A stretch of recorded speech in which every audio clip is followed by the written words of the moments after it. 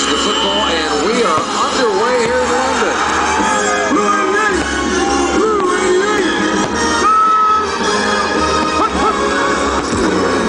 That's the final snap of the regular season, and the Patriots are unbeaten